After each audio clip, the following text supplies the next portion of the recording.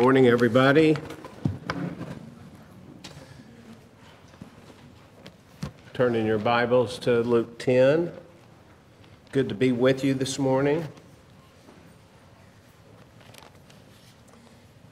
I wasn't going to do it, but I'm going to go ahead and say I miss Dr. Johnson. If he were here, I could talk to him about that Alabama game last night. but alas, you don't want to hear about it. Well, we've come to the end of our 10th chapter. Can you believe it? We began, we began it in January, and we're, conclu- Lord willing, we're concluding it in uh, September.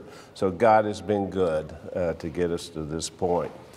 Uh, you'll notice uh, in your Bible, chapter 11, uh, we'll begin with some instruction about prayer that Jesus gives to his disciples. I have this unfortunate habit of scribbling notes in my uh, Bible.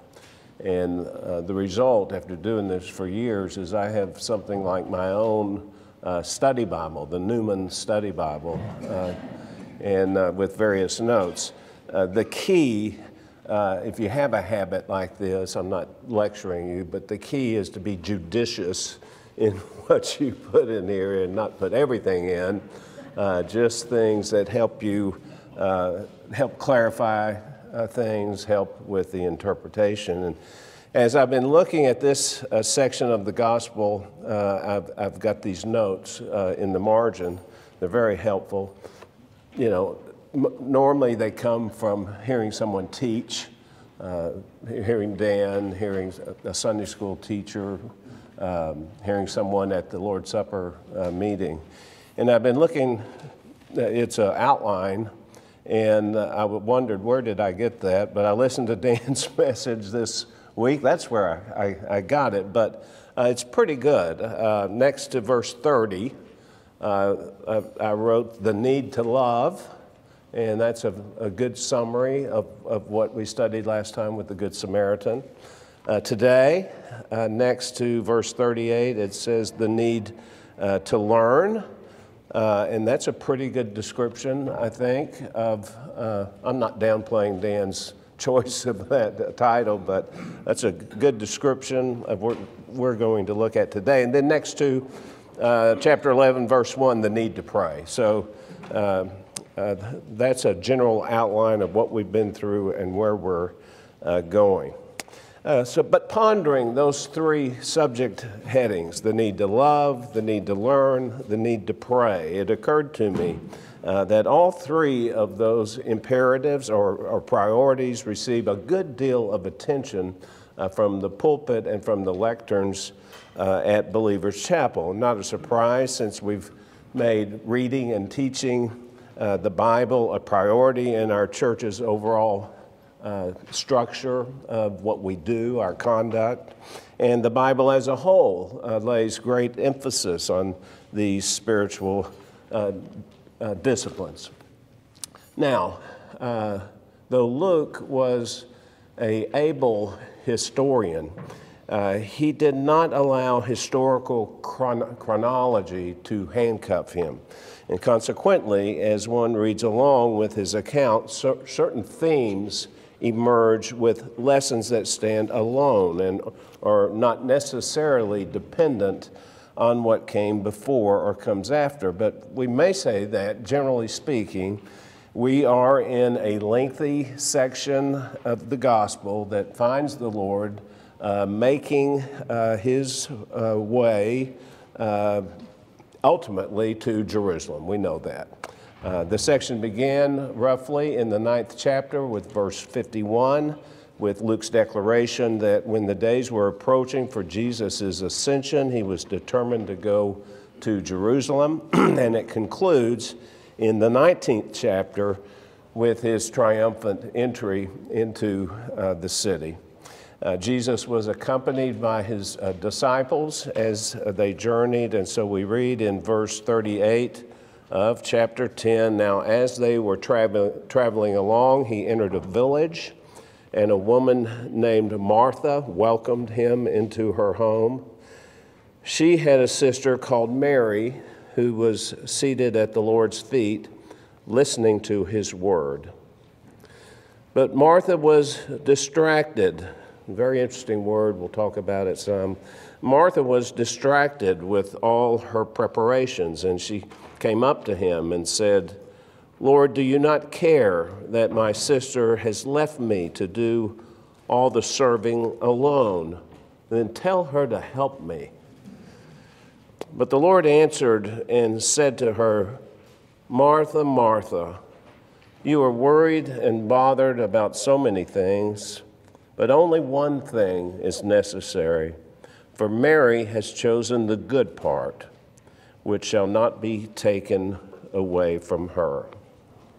And so there's our theme, uh, the good part, and we will want to attempt to understand what just what just what Jesus meant by that. But the occasion for this little vignette is unremarkable. It was while they were traveling along that they entered this unidentified village and into the home of Martha and Mary. And that's Luke's opening reminder to his readers. This was a journey with some significance.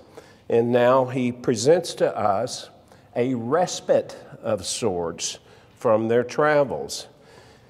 It's likely a precarious thing to try to speculate too deeply into our Lord's consciousness on this journey, but we can imagine that uh, just as he had grown physically and mentally in the years uh, leading up to his public ministry, uh, so his awareness of his mission and the road ahead would have continued to be engraved and impressed upon his thoughts as he traveled.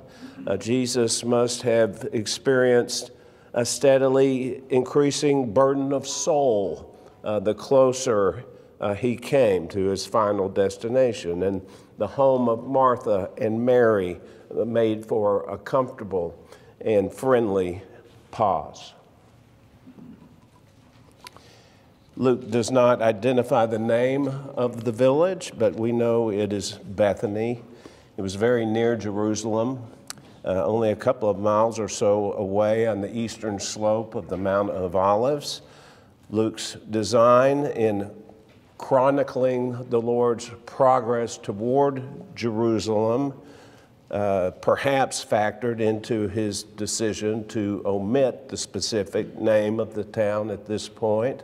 Uh, maybe he didn't want to get ahead of himself in, in the flow of his account. But the other gospel writers uh, make mention of Bethany as a frequent destination for our Lord. But it's John who names it specifically in John 11, verse 1, as the village of Mary and her sister Martha and their brother Lazarus. And he adds in the fifth verse of chapter 11, after John chapter 11, after uh, Jesus had learned of the critical illness that had befallen his dear friend uh, Lazarus, uh, we learn that Jesus loved Martha and Mary and Lazarus. Uh, that made this a special home for the Lord, and therefore uh, Bethany, a, a special village to him, a place of retreat and even rejuvenation. Back in chapter 9, verse 58, Jesus had uh, informed a would be follower of his that the foxes have holes and the birds of the uh, air have nests, but the Son of Man has nowhere uh, to lay his head. In Bethany, an exception of sorts uh, was made for him.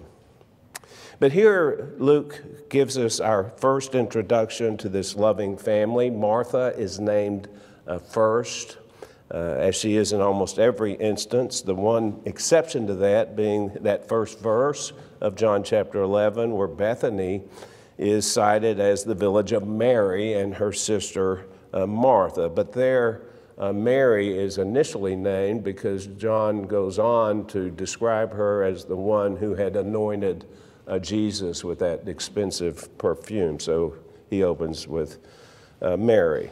Uh, Martha may have been the older of the two. She certainly acts like an older sister. Uh, in her appearances here and in John's gospel, she is portrayed as the initiator in uh, hospitality with a take charge uh, personality. Luke states that she welcomed Jesus into her home, and then he describes her busy activity in preparation for a meal for her guests. In her appearance in John 12, she is the same. Uh, Jesus has arrived at their home, a supper is prepared, and Martha is the one described as uh, doing the serving. But before that, even, in the 11th chapter of, of John, after Lazarus had uh, fallen deathly ill, it is Martha whom John describes, remember, as hearing that Jesus was on his way there and rushing out uh, to meet him, while John says Mary stayed at the house. She was likely uh, voluble, uh, which is to say, she wasn't bashful in expressing her opinions or giving voice to her feelings. When she met up with Jesus as he made his way to their home, she uh, blurted out, Lord, if you had been here, my brother would not have uh, died. And here in our passage, it's Martha who speaks, or, or, or rather complains. Uh, we might be justified in calling her Peter's female counterpart in the Gospels. Mary, on the other hand, appears uh, more measured uh, in every respect, perhaps even pensive at the Lord's presence in their home. After Martha had welcomed Jesus uh, into their home, Luke reports that she had a sister called Mary who was seated at the Lord's feet listening to his word. Now, that was the typical posture in the rabbinic world of a rabbi's uh, disciples, a student. So there is significance in the description. Uh, later in Acts 22, Paul would describe his own tutelage under the Rabbi Gamaliel as having been educated at the feet of uh, Gamaliel. Mary had chosen to be there uh, with that attitude.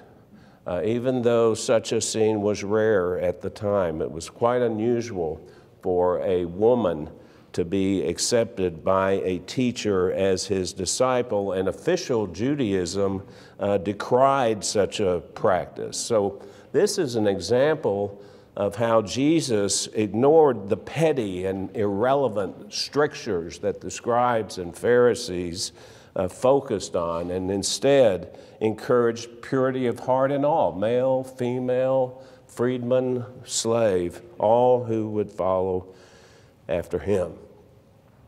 That's a side point, though, uh, to the lesson. Uh, the emphasis in Luke's telling is on Mary's choice in being there. She had her priorities in line. Above all, she wanted to hear what her Lord was saying, so she had made the time to be where she was. She had made the time to be there. We shouldn't think that the demands upon the time of Mary and Martha were that different than they are for each of us today. Every day, at every stage, we tend to be pulled in every direction as the time we have is precious to us. We talk about that a lot. Uh, how, how are things going? Busy, busy. Yeah, I wish I had more time to do the things that I need to do. I wish I had more time to do the things I wanted to. Well, Mary uh, took the time, or more likely, made uh, the time to soak up Jesus' teaching and breathe in every word. She took full advantage of her opportunity. So she appears as one eager to learn, certainly. We, we must. Uh, at least say that. She was eager uh, to learn, but more than that, uh, the, the way I read it, uh, with Mary not just there at his feet listening, but also resisting the pull of other things uh, or the condemnation that was about to come to her. She was enamored with Jesus and, and could not but be absorbed in him to the exclusion of all other things. She was devoted to her Savior, to Jesus.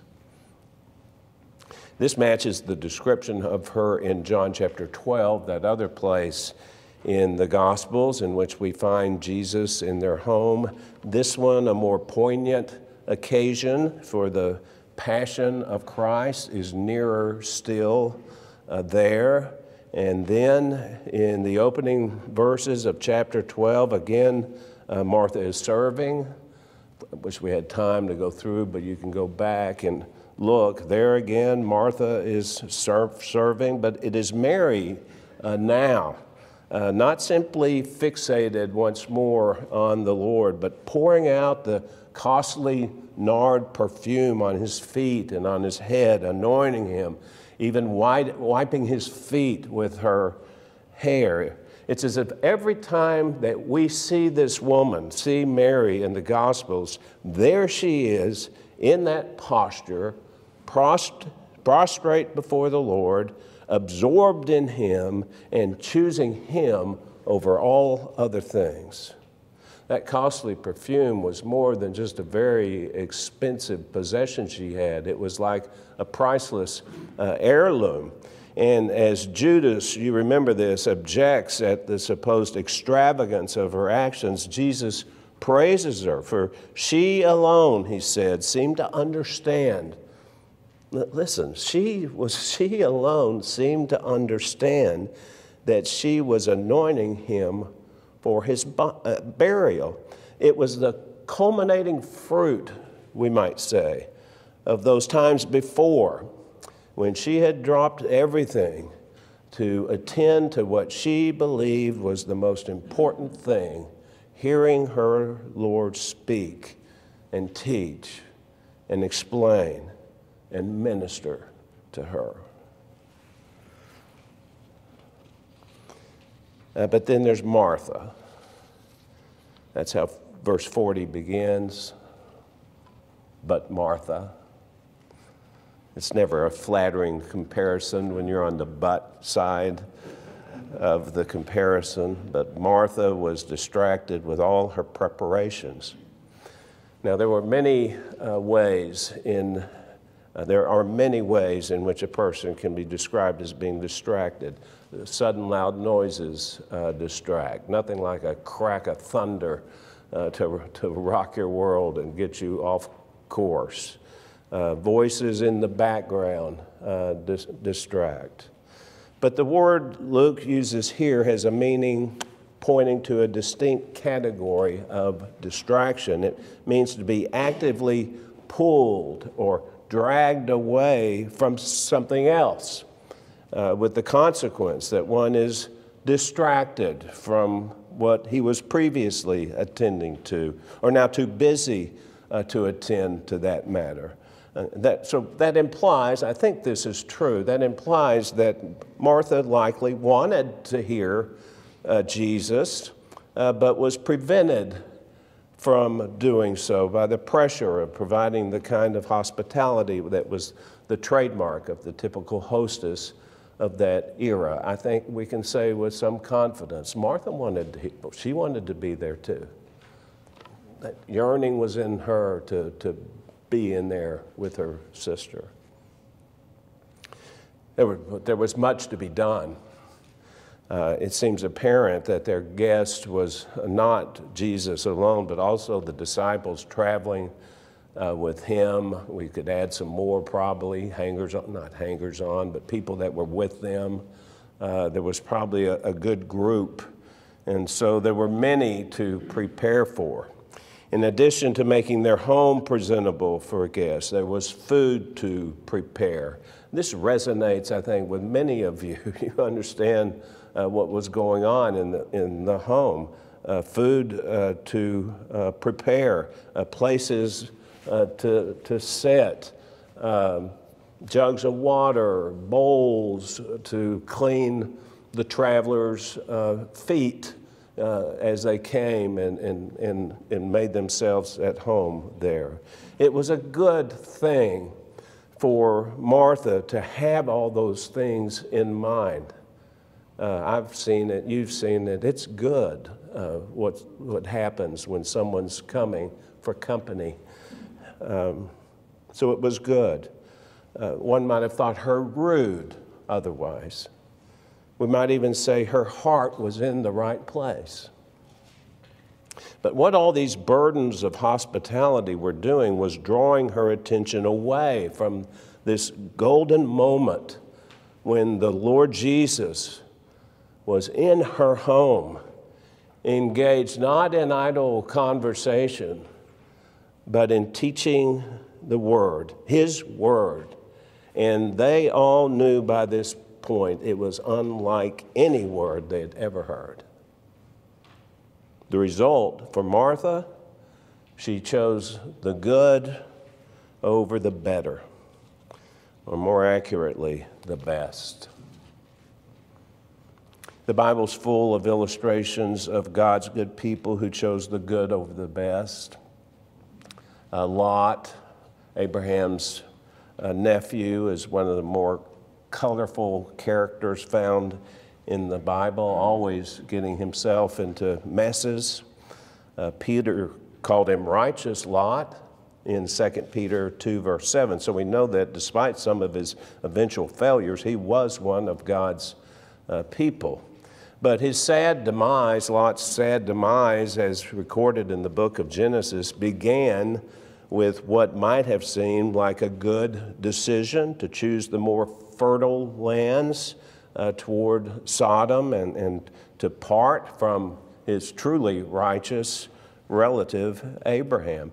It wasn't bad thinking necessarily, it just pulled him away. Here's this word it just pulled him away from uh, places where blessing awaited. He was distracted uh, more and more uh, the further one reads in the Genesis account.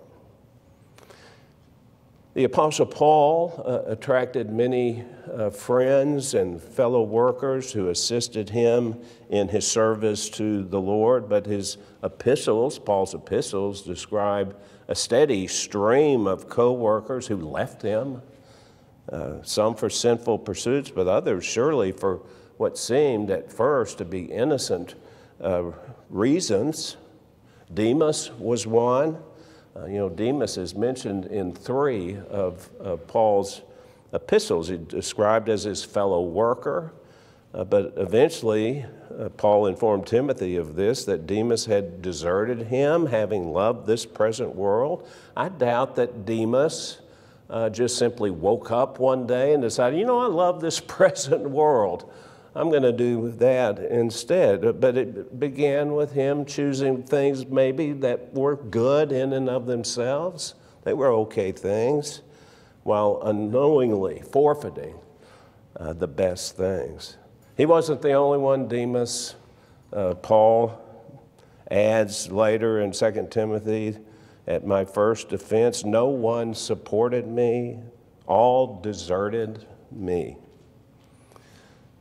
But we can find our own illustrations uh, in our everyday lives. What good things distract us.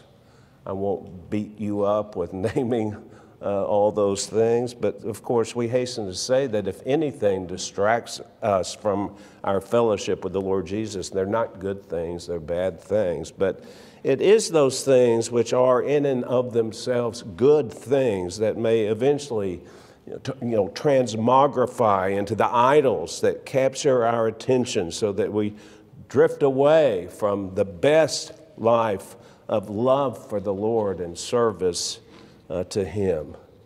The life that leads to joy is altered to one that is empty and of little use to God. Uh, Martha was certainly, we've seen that in our church, haven't we, over the years? Where is he? Where are they? Did they die? No, they're just gone. Not to another church, they're just gone. Well, Martha was certainly not what we would call a bad person or, or especially wayward. No, but her attention was drawn away from the feet of her Lord by the burden of her duties, the burden of the lesser things. They became magnified in her obsession over them, and as she continued along without the help of her sister, her younger, probably sister, her frustrations uh, bubbled over, and she came up to Jesus and she complained, Lord, do you not care that my sister has left me to do all the serving alone? Then tell her to help me. It was a rebuke to her sister, and it was a rebuke to Jesus. As she had been toiling away, the, the, the hearing the voice of her Lord in, in the other uh, room, uh, and, the, and with the absence of anyone at her side to help in what she was doing to prepare a meal for him, combined, all that combined to set her smoldering. Kent Hughes described the scene. Martha was angry at Mary for being so selfish, and she was also mad at Jesus for allowing it to go on. She focused, if looks could kill glares upon Mary, and let out some pained sighs as she fussed over the table and loudly banged pots in the kitchen, a sure sign that something's not good in, in the kitchen. She was a type A and she knew it. She was verbal, she was blunt. People always knew where they stood with her. Nothing like a little scolding to get things in order. So that was Kent Hughes' reenactment. But Martha had all her priorities uh, wrong, they were misaligned. So Jesus responded in verse 41 with a gentle correction Martha, Martha, you're worried and bothered about so many things, but only one thing is necessary, for Mary has chosen the good part, which will not be taken away from her. It was certainly true that Martha was bothered. And I think some of us uh, here today can identify with her frustration. You know, you're used to getting things done, uh, prioritizing them, organizing them, and then uh, checking uh, them off the list as they're, as they're completed. You are task oriented and you do not understand others who don't share your logic in this whole list checking thing. How can they live like that? But that was not where the Lord was at that moment. He had on his mind much more important matters. Out of all the activities that compete for our time and attention, Jesus was saying, only one is absolutely necessary. It's what Mary has chosen to occupy her. Sitting at the feet of Jesus, uh, listening to him adoring Him, longing to know Him in an ever more deeper way, discovering more and more His love for His own and the security that we have in Him. All of that combined to make up what Jesus called the good thing. That's the good part. The one thing that is necessary and the only thing in creation that cannot be taken away from us. Well, reading this and, and pondering it uh, really uh, made me begin to think of something similar Jesus spoke in another place. It was in his Sermon on the Mount in Matthew chapter 6. Jesus was exhorting his listeners there in Matthew 6 uh, to be careful not to sacrifice the best for the good. He said, Don't store up for yourselves treasures on earth. Don't do that. Don't sacrifice the best for the simply good. let's be honest, we spend a great deal of time on earth storing up a treasure. It's mostly called work. Uh, sometimes it's called saving, uh, being good stewards, leaving an inheritance for our children, those that come after us. All of that is good. All of that's good. But ultimately, it's not the most important thing. That's what messes up people. I was about to say men, but today it's, it messes up people. Uh, they begin to think that their career, their job is the most important thing. And pretty soon they don't know their spouse. They're spending all their time on what started as a good thing, but ended up not so. It's not the most important thing. It's not the good part that Mary chose. And the Lord goes on there to say in Matthew 6 these treasures on earth where moth and rust destroy and where thieves break in and steal. But store up for yourselves treasures in heaven where neither moth nor rust destroy and where thieves do not break in or steal. For where your treasure is, there your heart will be also. And a little after that, you, you, you, he goes on to say, Don't be worried about your life as to what you're going to eat or what you're going to drink or for your clothing. Seek first His kingdom and His righteousness, and all these things will be added uh, to you. And that's the same Greek word the Lord used with Martha. Merimno, merimnao. Don't be worried. Martha, Martha, you're worried about so many things. Only one thing is necessary, for Mary has chosen the good part, which shall not be taken away from her. The good part is the treasure laid up in heaven. Don't you agree?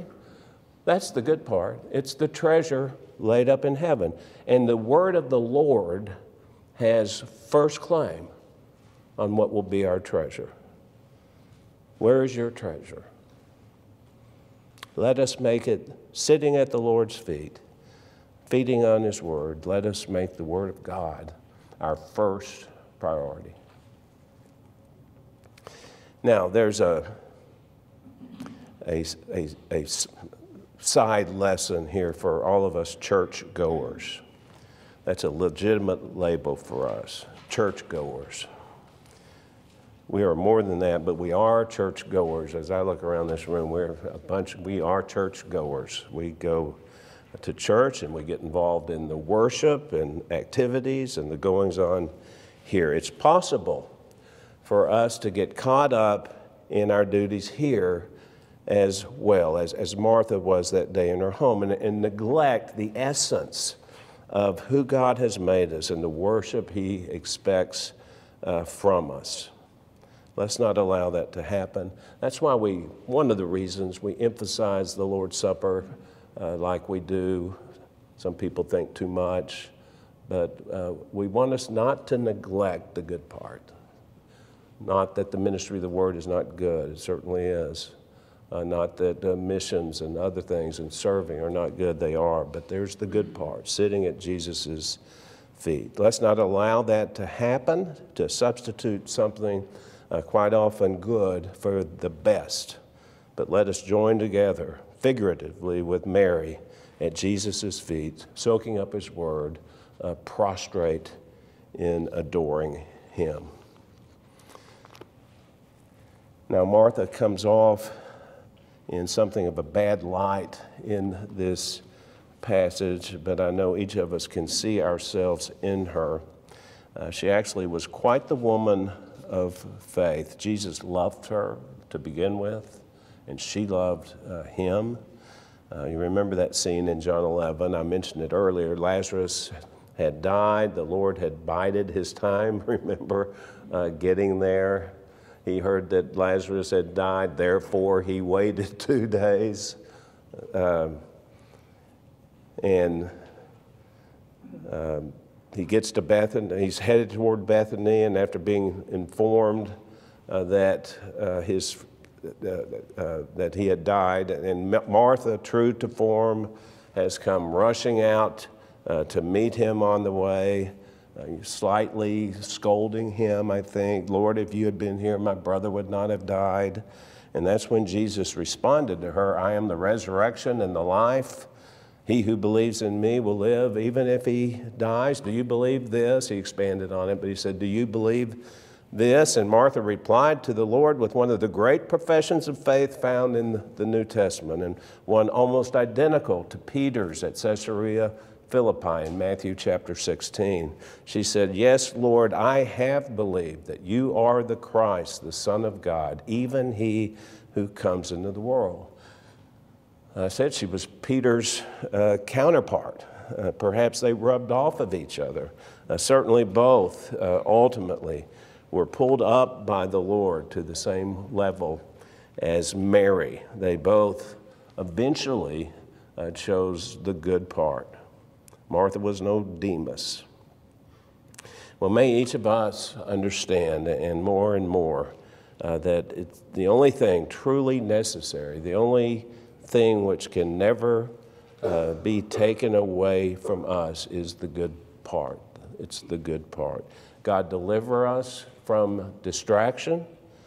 Lead us to that good part where we will be found in the familiar posture of Mary at peace and content, free of anxious worry, finding our souls enriched by the communion we enjoy at Jesus' feet. You know, Mary enjoyed his physical uh, presence.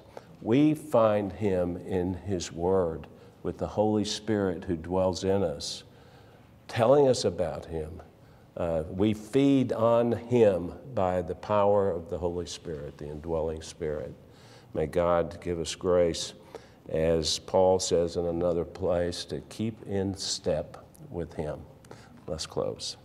Lord, thank you for uh, this example that we find in four verses in our Bibles, in your word. Uh, may we not be distracted, Lord, but keep, uh, keep reeling us in, uh, keep reminding us of what is uh, truly the good part. Uh, keep us from distractions, keep us from good things that become bad things, so that we might enjoy uh, fellowship with you and communion with our Savior. We pray in His name. Amen.